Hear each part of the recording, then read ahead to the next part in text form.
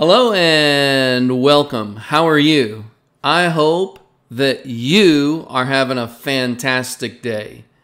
We're going to talk about Bitcoin news today. And in the news, the big story for me was a rural beach in El Salvador called Bitcoin Beach. The locals use Bitcoin to get essentials like groceries. And in this image, you can see here a pickup truck with Bitcoin Pay here, and he's got fruits and vegetables all throughout his little pickup truck, and he's he's buying and selling his fruits and vegetables uh, using Bitcoin. So I thought this was very interesting. In today's video, we're going to talk about three different articles. The first one is about stacking sats. Small Bitcoin holders are on the rise, data suggests. Then we're going to take a look at coronavirus crisis could turn Bitcoin's greatest test into its perfect storm. And then the last article we're going to look at is the one I just mentioned. It's about a rural beach in El Salvador called Bitcoin Beach. The locals use Bitcoin to get essentials like groceries. So this will be a great video. I think this is a fantastic use case of Bitcoin. And so let's get right into it. Should I buy Bitcoin now or should I wait? We're going to give you ideas to help you take profits and avoid losses. Can we get this video to 99 likes? Smash that like button.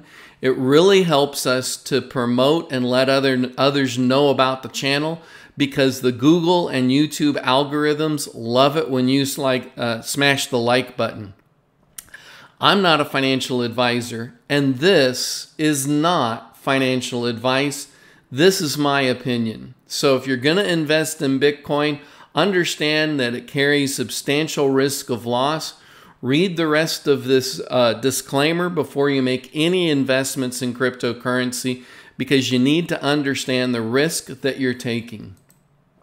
Now, Bitcoin at this moment, it's currently 6:29 a.m. Central Standard Time on April 29th, 2020, and the price of Bitcoin is $8,156.18. That's a 5% increase in the last 24 hours. and so if you look at the Bitcoin chart in the last 24 hours, it's taken a very nice steady climb up and it finally broke through the $8,000 price range and has actually taken a little bit of a bump above it.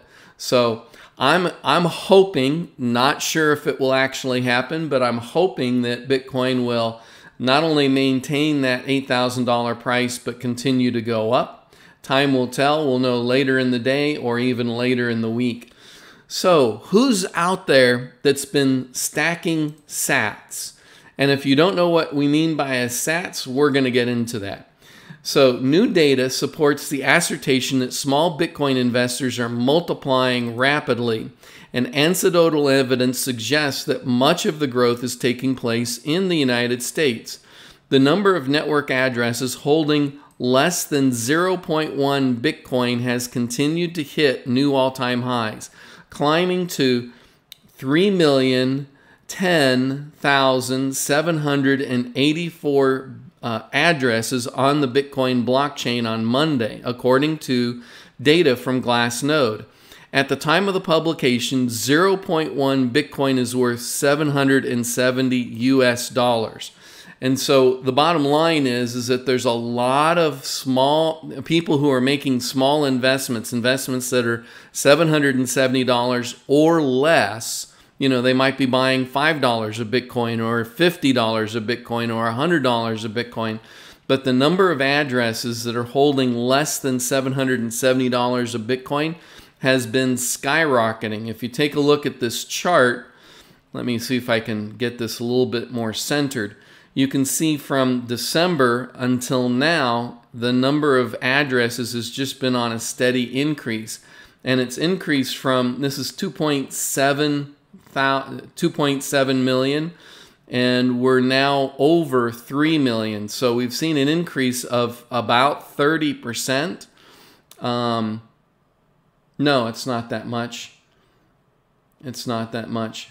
But we have seen a decent increase in the number of people who are uh, holding less than $770 worth of Bitcoin.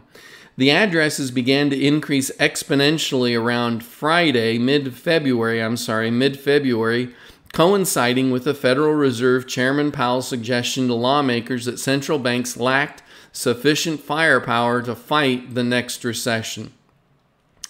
But several U.S. Bitcoin investment services corroborated the idea that a number of small Bitcoin investors is growing at an increased rate.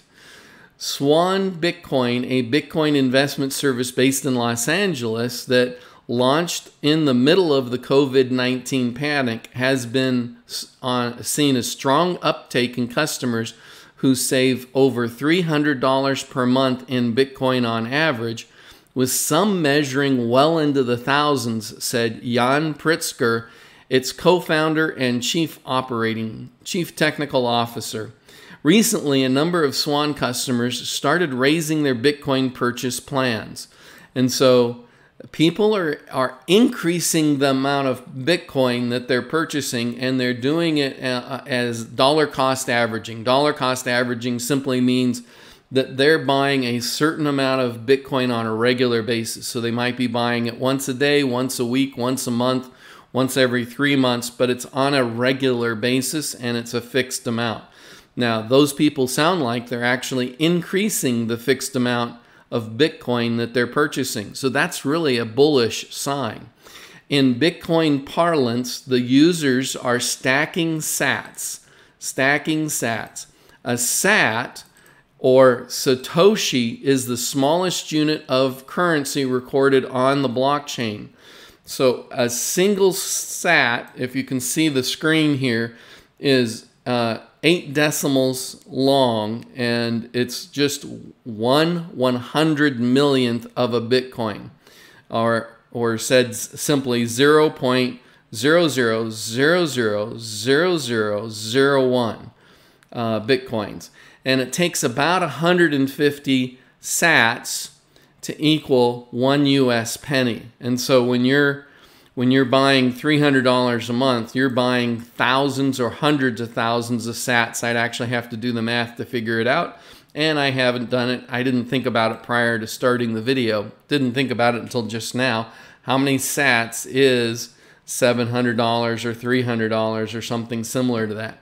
So, River Financial, a Bitcoin brokerage firm based in San Francisco, has seen significant growth in customers buying hundreds to a couple of thousands dollars worth of Bitcoin, said Alexander Leishman, its founder and CEO. The number of orders on our platform doubled in mid March, and it has since sustained a significantly elevated rate, he said. Many of our clients have directly told me that they are buying Bitcoin because the government is printing so much money a lot of these people are buying Bitcoin for the first time. Also, in regards to stimulus spending, Brian Armstrong, CEO of Coinbase, shared a cryptic chart earlier in April indicating a spike in the number of Coinbase customers who deposited and executed buy orders for $1,200, the same amount in stimulus checks sent by the Internal Revenue Service to middle and lower income adults. If you've watched, I, re, I did an article a couple of weeks ago on this very subject about, and I called it the Bitcoin stimulus checks because people were taking their government issued stimulus checks and buying Bitcoin with it. So I thought that was kind of funny. Coinbase is the largest US based cryptocurrency exchange by traded volume, according to the data aggregator CoinGecko. And you can see by this chart, here's the number of people depositing $1,200 and it kind of meanders along until all of a sudden, whoop, it just skyrockets. Um, and so, and this is a this is the time when the stimulus checks actually got released, is when that thing peaked. When Armstrong tweeted the Coinbase customer data, 1200 was worth roughly 0.17 Bitcoin. I'm not surprised that the increase in small purchases of Bitcoin over the last few months, said Anil Lulla, a former associate of Deutsche Bank and co founder of Delphi Digital, a digital assets research firm. It's important to note some of these people wrote off Bitcoin in the past and have started to be intrigued given the macro backdrop. And so, you know, um, in the previous all time high, the big driver for getting to $20,000 per Bitcoin in December of 2017, that was driven by small investors. It wasn't driven by whales. And we're seeing the potential of the same thing happening all over again. And so in this video, we're going to kind of concentrate on the small investor, the people who are investing $50, $100, $500, or even $1,200 stimulus checks. And when you look at, in fact, let's drill into this for just a second. So we're going to look at the Bitcoin price chart. It's taking a second here to draw it. Let's, there it goes. All right, so here's the Bitcoin price chart. This goes back several years, but let's look at the seven day version of it real quickly here and it should come up any moment now. All right, so in the seven day version of it, you can see we had a nice peak or a nice sudden jump. Sudden jumps I'm cautious of because typically they're either they're caused by a, a, specific event. Somebody like a whale who comes in and just plops down a whole bunch of money and buys a bunch of Bitcoin or sells a bunch of Bitcoin can cause a sudden rise like this. Another thing that can cause a sudden rise is that we can see a cascading effect of people who have leveraged accounts all of a sudden getting uh, liquidated. And so there were about $10 million worth of leveraged accounts that got liquidated during this pump up. And as one account gets liquidated, it can cause another account that gets liquidated, causing kind of a domino effect. And that domino effect can take over for a period of time. And so this was probably caused by a couple of things. One, somebody buying a whole bunch of Bitcoin, and then that started the domino effect of liquidating uh, leveraged accounts. But this growth here that you can kind of see is of a smaller, on a consistent, regular basis. And so these are smaller moves as it moved up. And these are more likely to have been driven by retail investors they could also be big whales who are just buying in very small increments over a longer period of time. Um, so it, it, the bottom line is is that these are smaller increments of, of purchases that is pushing the price up. Um, so anyway, let's get on to the next one. Coronavirus crisis could turn Bitcoin's greatest test into its perfect storm. As, mu- as much as many say Bitcoin is uncorrelated, even the crypto industry hasn't been spared in the recent outbreak of COVID 19. Like a majority of other asset classes, cryptocurrency tanked on Black Thursday, experiencing their worst crash in years. And like most other industries, a number of leading firms laid off staff in the crypto space over the past few weeks. With the president in mind, it may be easiest, easy to suggest that should the economy continue to tumble, so too should crypto and the price of Bitcoin. But according to a growing number of investors and analysts, the fundamentals of cryptocurrencies are only being strengthened by the crisis. And so it's always a good thing when you see the fundamentals get strengthened because the fundamentals are what drives the long term value and then it's emotions that drive value in the short term. So fear and greed can force a stock to rise above its uh, uh, fundamental value, the value based on what what is the building blocks behind that cryptocurrency, or fear can drive that value down, um, even though it may be worth more than the actual price. And that's kind of how you want to want to make, you know, you make profit in the market by buying low and selling high. And so you're looking for assets that have been pushed down in their values below what their fundamentals uh, offer as a value and and then try and sell when emotion has pushed it above what it's really valued at. Um, and then once you've sold it that high, wait for it to come back down, etc. And so it's kind of a cycle. The company explained that with fiat system being pushed to extremes, negative interest rates and money printing galore is the epitome of this. There's potential for inflation to rise at a rapid clip for central banks to fail and for trust in alternative monies to grow. And so the key, uh, the big boy as far as alternative monies is Bitcoin, but really uh, every cryptocurrency out there has the potential to grow just because of everything happening in the standard, you know, finance 1.0, as a lot of people like to call it. Um, but, you know, the traditional monetary system. This confidence of monetary and geopolitical factors is like a perfect storm that is likely to benefit Bitcoin. Another report for Arcane Research has suggested. It goes further than that. Placeholders, cap, placeholder capitals Chris Bern, Burniske went as far to say that the entire crypto space, not just Bitcoin, could benefit from the socio-economic effects of the outbreak.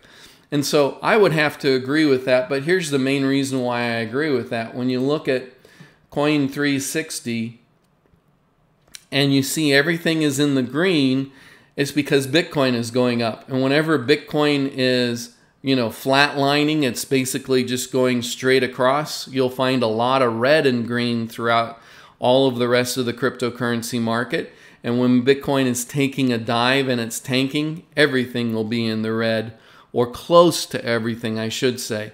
And so when Bitcoin is doing well, the rest of the cryptocurrency market does well. And oftentimes, when you see Bitcoin going up by one amount, you'll see other cryptocurrencies going up by significantly more than Bitcoin.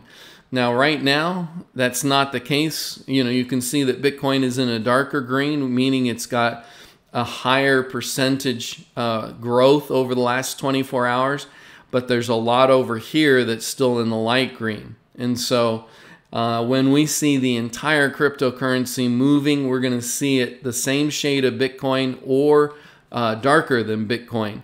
Now, we do see everything moving in a positive direction, but I definitely like to see it when the other altcoins are moving faster and higher than Bitcoin. But, you know, that's kind of a ebb and flow, you know, sometimes they're doing better, sometimes Bitcoin is doing better. And so all of those things are subject to change and can change with a moment's notice. Anyway, so that's the news as far as real world Bitcoin transactions in. Oh, that's not what I wanted to get into quite yet. I thought I was finishing this article. And so the perfect storm may actually be happening because of the economic and global and political situation that's happening around the world. Only time will tell.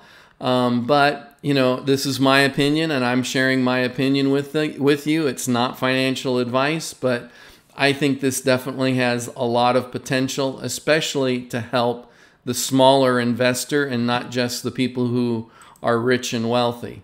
So, Bitcoin is replacing the El Salvador economy for the unbanked. Bitcoin was created to become a monetary system that exists outside of the control of third parties, such as governments and banks. It's also a solution for unbanked individuals to hold an account that stores value and can transfer that value to others on a peer to peer basis. And so, this is the article where we're going to look at this El Salvadoran beach that's called Bitcoin Beach and and kind of dig deeper into it. And while this is a long-term vision for the first ever cryptocurrency in a rural village in El Salvador, Bitcoin is already replacing the hard-hit economy and providing a much-needed solution for unbanked citizens residing in the area along the coast called Bitcoin Beach. It's the cash-strapped regions where unbanked citizens are commonplace that are left without a monetary system they can rely on. In a rural beach located along the coast of the South, South American nation El Salvador exists a village now dubbed Bitcoin Beach, where the locals are relying almost solely on Bitcoin to transact and get essentials like groceries.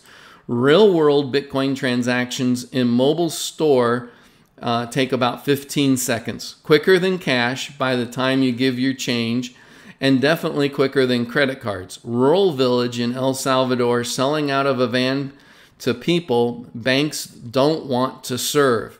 Forget buying coffee with Bitcoin. This is real.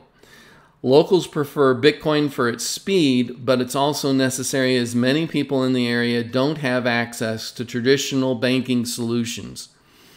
And so I need to take a second here and make sure that I turn this on so that you can actually hear the audio. Um, let's go back here and I wanted to show you this so you can see pictures of people traveling. Here's here they are using their phones and they're buying eggs and drinks and other things. Um, and so let's turn the audio on.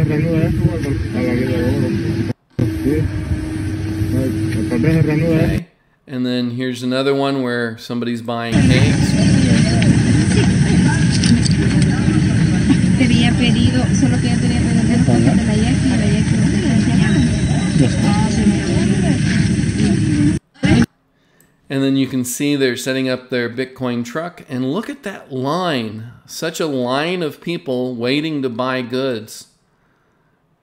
Pretty remarkable. And then down here, this guy gives us a little bit more. Guys, we're here right now, part of the Bitcoin project. Here's people lining up behind us uh, using Bitcoin to buy both fresh vegetables and uh, dry goods and canned goods from the store here.